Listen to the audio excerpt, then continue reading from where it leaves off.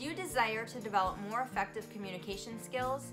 Do you find it difficult to communicate on a deeper level with people you live with or people you love? Are you wanting to reopen communication channels with someone that have been closed in the past? If so, keep watching as I begin my three part communication series right now.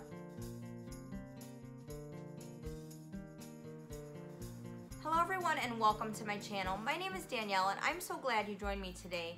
Today kicks off my three-part series on communication where for the next three weeks I'll be talking all about communication, why it's important, the benefits of good communication, how to become a more effective communicator, but also why it's important to become more authentic and transparent when you communicate in helping you enhance your relationships and being able to communicate on a deeper, more meaningful, and intimate level with those around you. If you like videos that encourage you, motivate you, and inspire you to become the best version of yourself you can be, physically, emotionally, and mentally, then please subscribe to my channel. I do upload videos every Monday, but sometimes more often, so if you hit the bell button, you'll be sure never to miss a video. Now, the first thing I do want to talk about is communication skills and our children. So even if you're not a parent, this does still apply to you because whether you have a niece or a nephew or a neighbor or you're a teacher, if you have children in your life in some capacity, this applies to you because I think it's really important that we look at this for a variety of different reasons.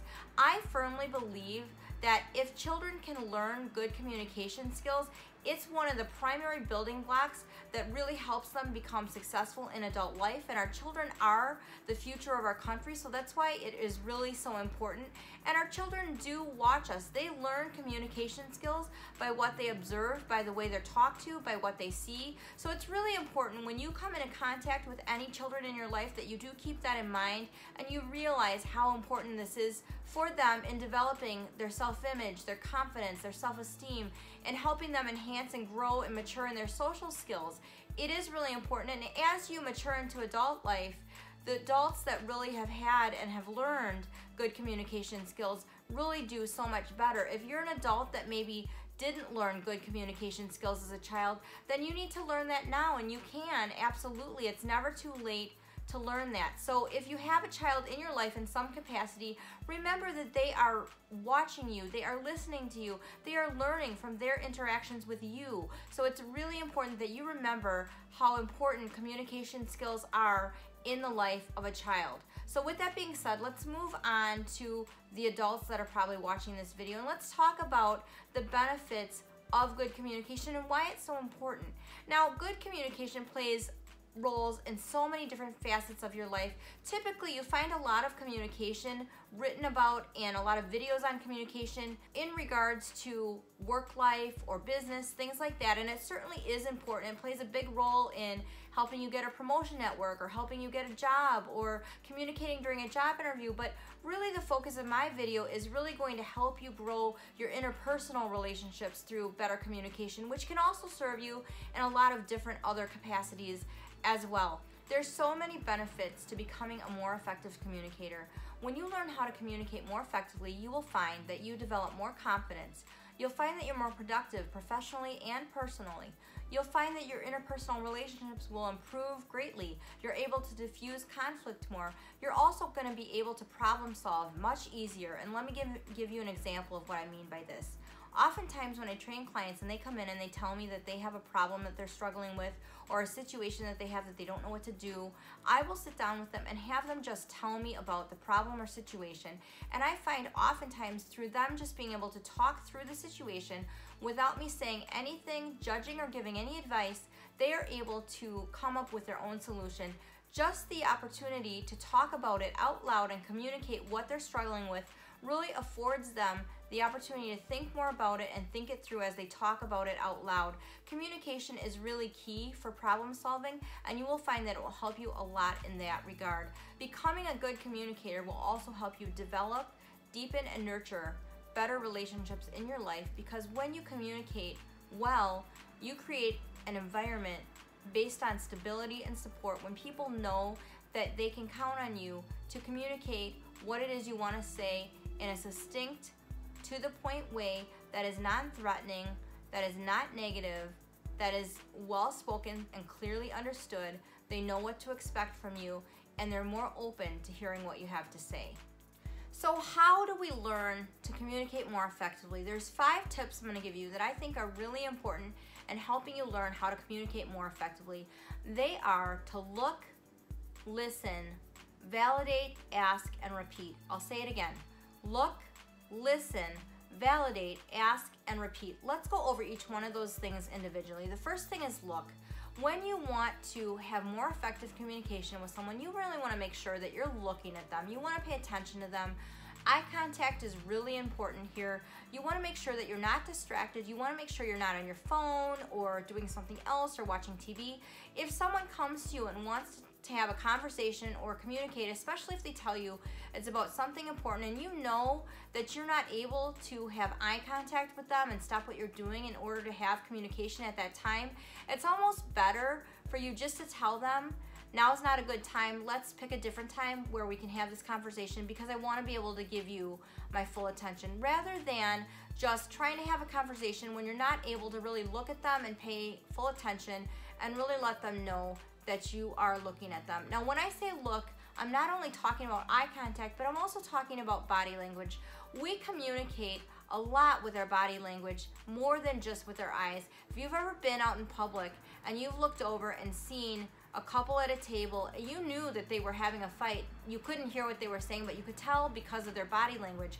When you're communicating and to communicate more effectively, when I say look, I also mean you want to look open. You want to look receptive. So you want to smile. You want to lean forward. You want to open your arms. Let them know that you're interested in what they have to say and you're open to hearing it.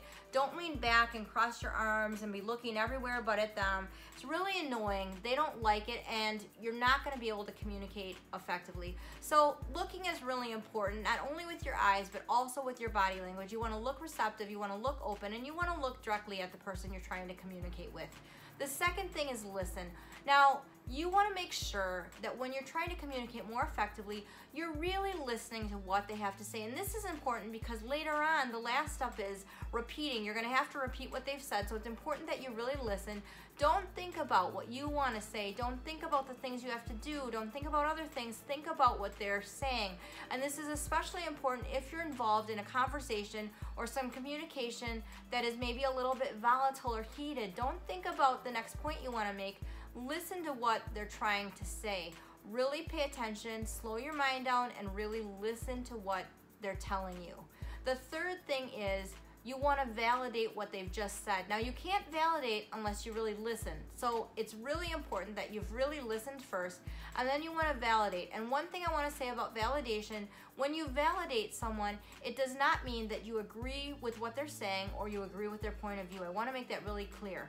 But it is really important that we all feel validated, we all feel heard. So, let's say, for example, that someone's telling you about the bad day that they had, and maybe they tell you that a situation happened that they didn't agree with and it made them really cranky and then they had a bad day.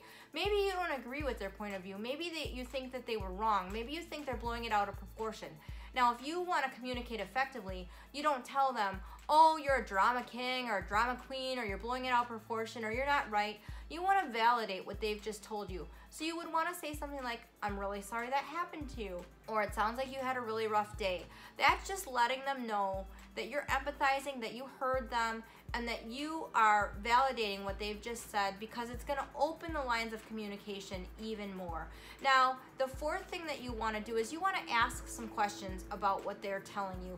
You want to ask some open ended questions because that'll give way and give you opportunity for deeper, more meaningful conversations. So, for example, if you're in a position where you interview people for a living or you're in a position where you've had job interviews, you know that the best interviewers and the best interviews you've been on are interviews that encourage you to talk about yourself and they ask you open ended questions.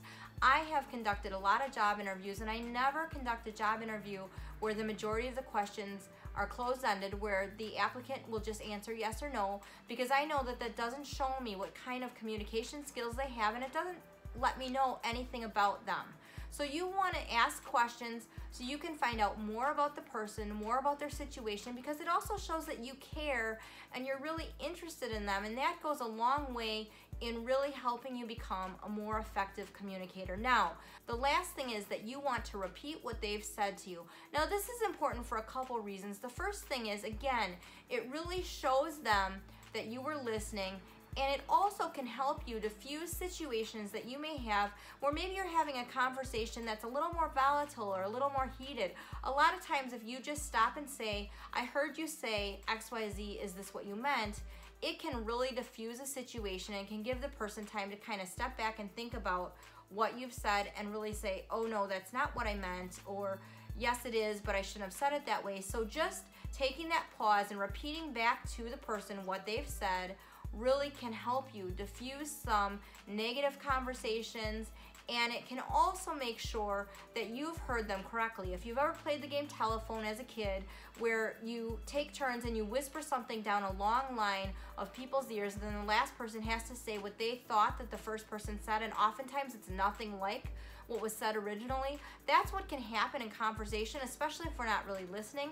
When you say, I heard you say this, and you repeat back, to the person that was speaking what they've just said, it gives them the opportunity to say, well, no, that's not what I meant, or that's not what I said, and they can really clarify the thought that they were thinking or the point that they were trying to make. So it really makes your communication clear, and there's no room for misunderstanding, so that's why that's really important.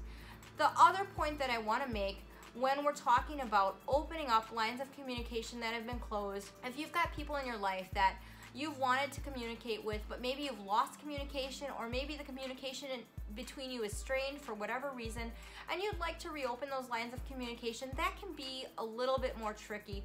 But, you know, one of the examples that I can make is with your kids. Now, I've got boys that are teenagers now, so obviously our relationship and our communication is much different than it was when they were younger. So, learning and I guess I would say relearning how to communicate with my kids now, now that they're older and they have different needs and they're at a different point emotionally, has been a learning process and sometimes a challenge. And so, one thing I'll tell you about that if you're wanting to reopen lines of communication that have been closed, a really great way to do that is to take a genuine interest in the things that the person that you want to open the communication lines with is interested in. So sometimes I will sit down and watch my boys play video games or I will watch a show that they want to watch even though I have no interest because it shows that I care about them. It shows that I'm interested in having some communication and remember that sometimes nonverbal communication is even more powerful than the communication you have verbally.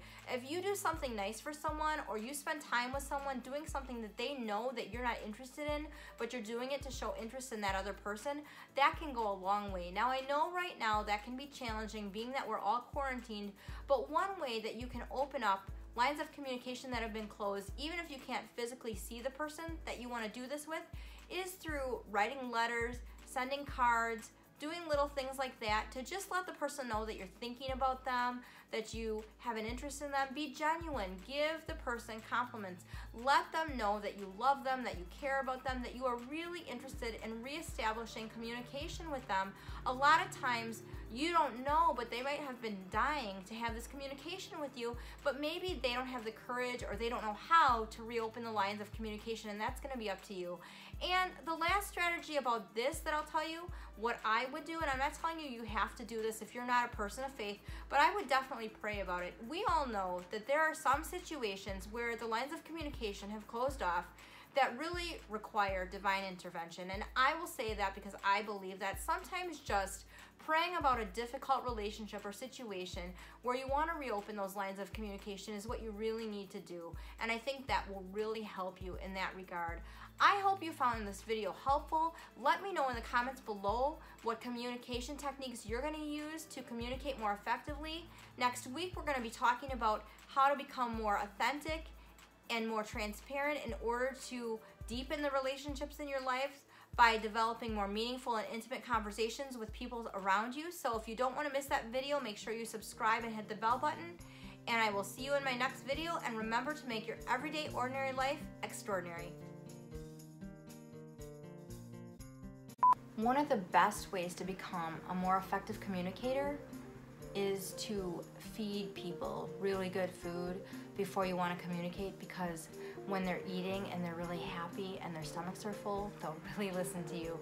And I have really learned that right now in quarantine. when people effectively communicate, they are able to they when